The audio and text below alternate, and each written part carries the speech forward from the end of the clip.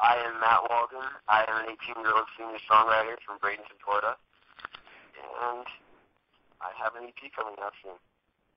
Tell us about the EP. When's it coming out, and what can we expect? Oh my gosh, I wish I had a date. Um, it should it should be done within this month, the next month, and it's gonna be full band, not just acoustic. So it's pretty exciting. You have a band? Well, I don't have a band, but we brought in professionals to come play the other parts. Okay, okay. So uh, we're gonna skip around a little bit then. What instruments do you play? What instruments do I play? Um, originally I started off taking 10 years of piano lessons, and then from there started playing guitar. And in school, I think they made me play clarinet and viola and stuff like that. But basically, I just do guitar, piano, drums, and my church made me learn bass. So that's one. Nice, nice. Describe your music.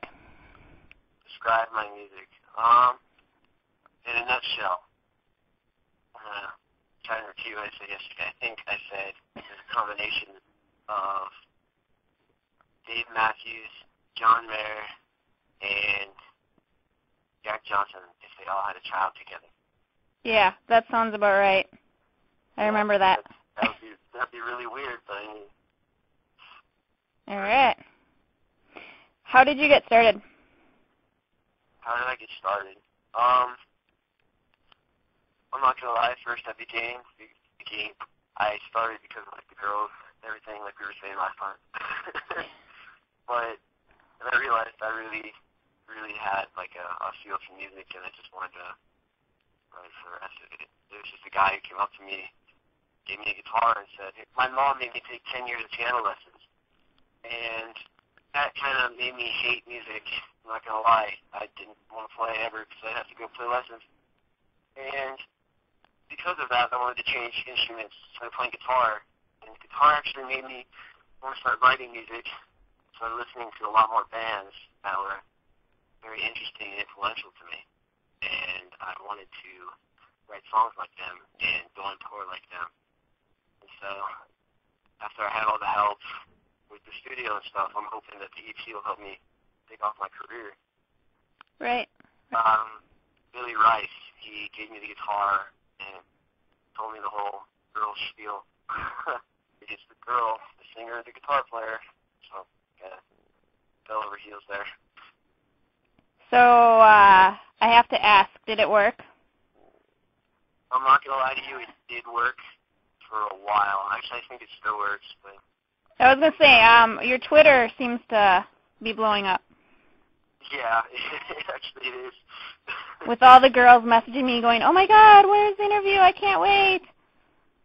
Uh, sometimes. I mean, I kind of, I'm, I'm trying to, I try to be really nice to them because, after all, they are really nice to me, and I just can't seem to be mean to anyone.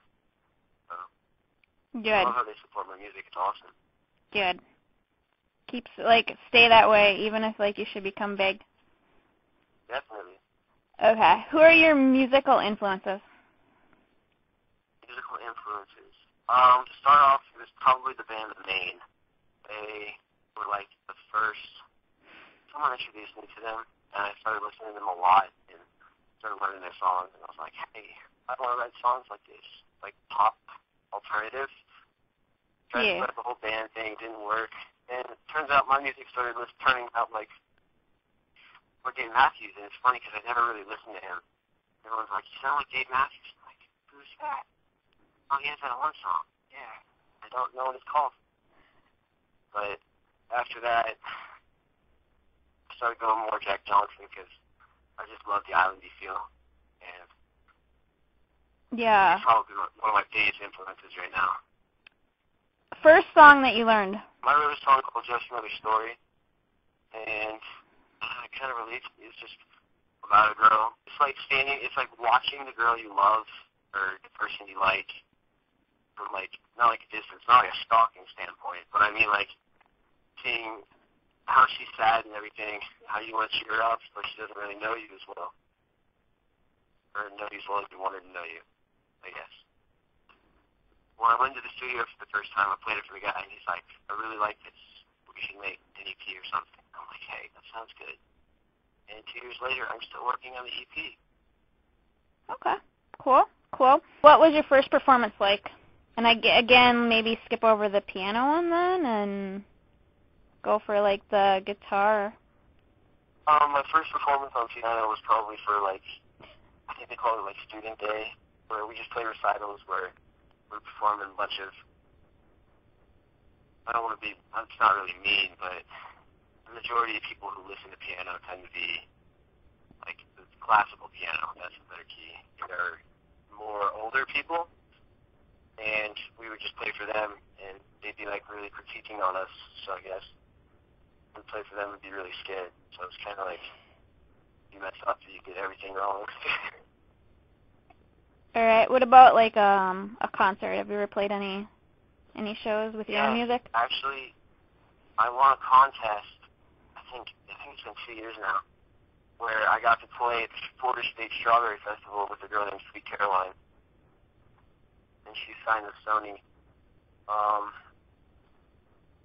that was pretty nerve wracking because we had to practice for a good six weeks before we went out there on the stage and played. And I mean, it was all family and friends that were out there and a couple of strangers, but I mean, it's still pretty crazy playing at the Florida State Strawberry Festival. I, I don't know. I just right. I was shaking. so that did that make you want to do it more? Yeah, like I don't know, just the feeling of being up there, just taking control. Um, what is your best moment so far? Probably just all the support I'm getting through my music. It's probably the best moment overall. Like it's not really a specific time because I play a few shows every now and then, but it's just all the support I'm getting from my family and my manager, Jason Poe, and going to the studio and just everything in general has just been one big moment to me. And it's just, I love it. I want to do it for the rest of my life. Okay, that works. Why do you want to be a performer? I love music, and I love writing music, and I don't know. I just kind of want people to hear my music. Like sometimes I feel like my songs can relate to what they're going through and I like helping people. So I, I think maybe in a in a way my songs could help people. I like that answer. What can fans expect from you this year? Probably a lot more covers, and maybe when the EP's out, a music video. Sweet, that, like that would definitely be it. What um any plans for like certain covers or?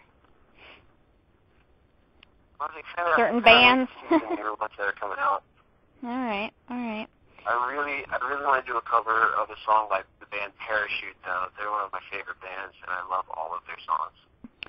Who do you want to tour with? Probably Ed Sheeran. That would be the coolest. Because I hear he's really chill, and he's acoustic, and I'm acoustic, and I think just an acoustic tour in general would be pretty awesome wasn't Ed Sheeran. I mean, you wouldn't want to play with him or be anywhere near him. Yeah. Right on. Right on. What are your goals for your career? Personally, I would. right now, I kind of just want to go on tour and I can get my music out there. Fair enough. I know I saw that you had released an original song on your YouTube. It's too short. Well, that's kind of a, a personal story I wrote the song about. There's a girl I liked a while ago, I'm not to mention any names or anything. No, you don't have to. Yeah. but, um, I don't know, I feel like back in 2008 is when we really clicked, and then as everyone changes through high school, I feel like she changed a lot, and I just, uh, my emotions into a song. Okay. And I also saw like your fans have a campaign to get you to go to a festival called Teen Hoot. Yes, actually, Teen Hoot. That is a festival in Nashville where I signed up for the contest. I didn't win, but it's an amazing experience. So that would be a goal then too. Yes, big goal. So where where can um fans go to uh vote for you to play there?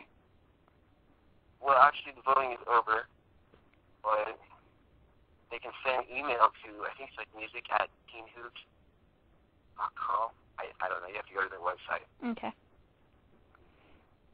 Just trying to get a plug in there for you. Yeah, I got you. Cool. Where can people get in touch with you? Twitter and Facebook are always the perfect way to go. Nice. Right now, at this this moment in time, I currently see everything on Twitter. All right. All right. And then a uh, message to your fans that are listening. Uh, I love them.